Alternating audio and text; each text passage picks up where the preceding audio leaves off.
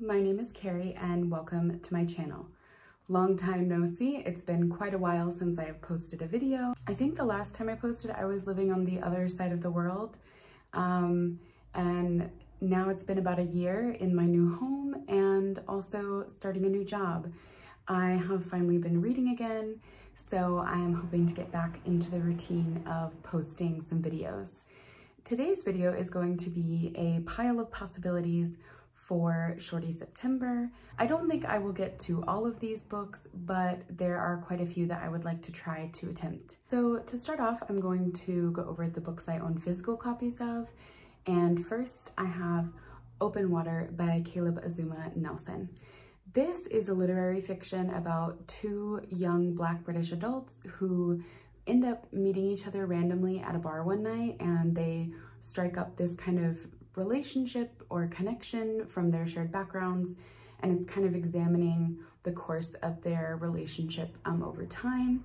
I've heard absolutely amazing things about this and this is one that I'm really hoping to get to because I feel like I am the last person to have read this book.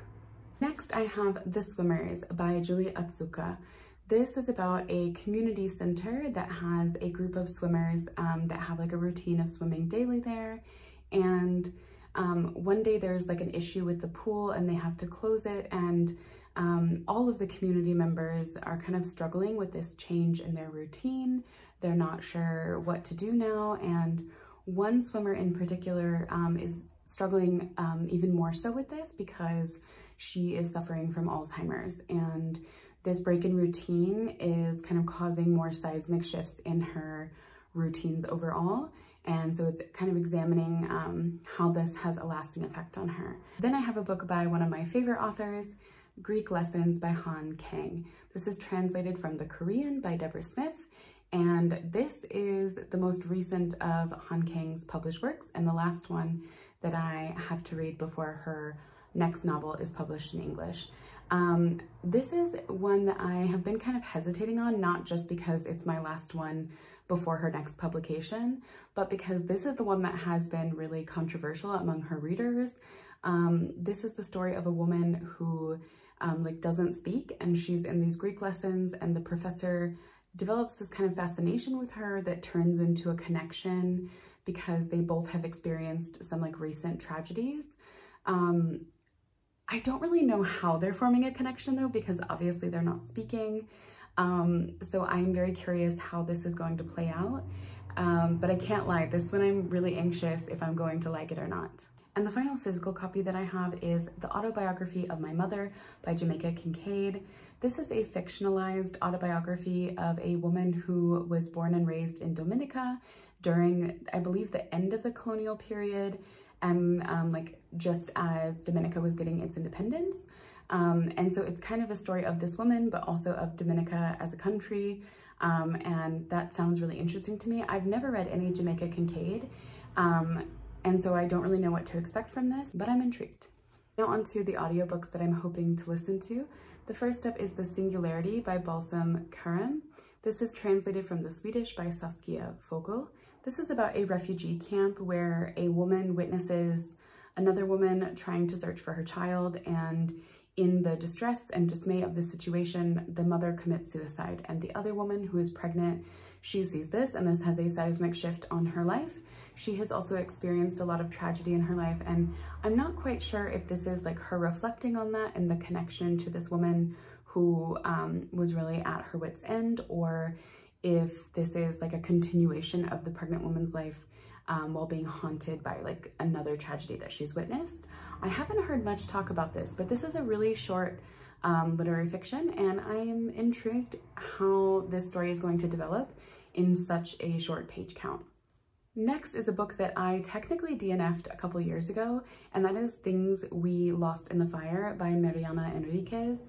This is translated from the Spanish by Megan McDowell, and I DNF'd this a few years ago when I was first kind of trying horror books. This is a collection of horror short stories and I think I was really in the wrong headspace at the time. I really liked the writing style, but the stories themselves were very dark and it was around a time that I was reading a lot of very heavy books. So I think it was just too much at that time. I ended up getting an audiobook of this and um, so I'm hoping that maybe in this format it will be a little bit easier for me to digest these stories and that this time I will end up finishing this collection because I've heard amazing things about this author and again I really enjoyed her writing style. I think I just need to find my own groove with getting through her work. Then I have a classic, Barracoon by Zora Neale Hurston. This is a classic nonfiction, which sounds a little weird, but I think it rightfully deserves this title. It is a nonfiction biography of um, the last man who was enslaved and brought to the United States during the transatlantic slave trade. And it's the story of his life and who he was, and it's giving voice to a story that um, obviously many people shared, but very few were able to be given agency and have their stories told. And um, Zora Neale Hurston kind of went on this investigative um, drive, literally driving to um, the places where this man lived and talking with people that knew him. Yeah, I'm really intrigued by this because um, I haven't really been reaching for nonfiction this year, so I'm not sure if it's, um, you know, if it's something I'm gonna be in the mood for, but it is something I really want to try to read, especially because it's by Zora Neale Hurston. Next I have The Impatient by Djaïli Amadou Amal. This is translated from the French by Emma Ramadan. And this is set in Cameroon and follows the lives of three women who are all co-wives. They are in a polygamous marriage with a man that they don't particularly like. And um, this is the story of how they really come together to really carve their own path and find their own independence. And I'm excited for this one because from the description, it doesn't sound like some other books that I've read that discuss um, polygamous marriage where the wives are kind of against each other and they see each other as enemies or like combatants. In this, it sounds very much like the women understand their shared experiences and use that as a way to bond and um, really decide their own fate for one another. And last but certainly not least, I have Western Lane by Chetna Maroo. This is a coming of age story of a young girl who um, she has really dedicated her life to playing cricket and this was fueled by her father's desire for her to play this sport and it examines this complicated relationship she has with this sport and how it affects her interpersonal relationships with her family and developing friends. And I'm really excited for this one. I've heard pretty good things about it and I'm really excited to learn a little bit more about cricket because I don't know much about it, um, but this sounds like it will be a really interesting story. And those are all the books that I have on my pile of possibilities for Shorty September.